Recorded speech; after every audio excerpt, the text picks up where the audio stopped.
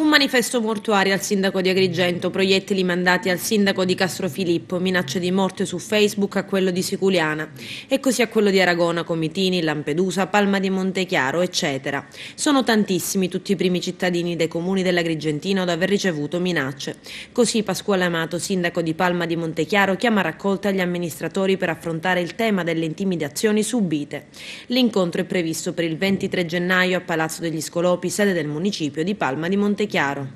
Ormai è purtroppo un, un dato terribile, la Sicilia è la, la terra, la regione ha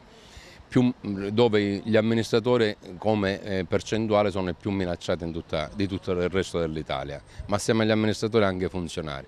gente che lavora per mettere in esecuzione norme, leggi, l'abbiamo visto anche non ultimo quel manifesto eh, con un riferimento, non dico minaccioso, ma certamente non era incoraggiante contro il sindaco Firetto che vuole mettere in esecuzione le ordinanze di demolizione di immobili che sono abusivi. Qui invece che indietreggiare che gli illeciti li commette addirittura può alzare la voce e intimidire. Non può andare così. Noi giorno 23 di gennaio al Palma di Montechiaro ne approfittiamo per eh,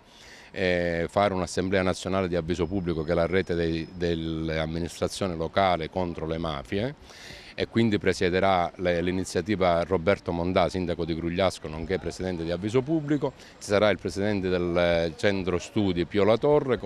consegneremo i premi Pio La Torre che l'anno scorso 2015 sono stati assegnati a due dipendenti comunali di Palma di Montechiaro a livello nazionale, per noi è orgoglio, ma nello stesso tempo ci sarà un momento di testimonianza di sindaci minacciati e quindi sarà l'intervento di Ciccio La Rosa, sindaco di Niscemi, poi ci sarà anche l'intervento di Lillo Firetto, il vicepresidente dell'Ance Sicilia, per fare il punto e dare il segnale che tutte le fasce tricolori sono unite per che venga cambiato anche il sistema di protezione dei, dei, dei sindaci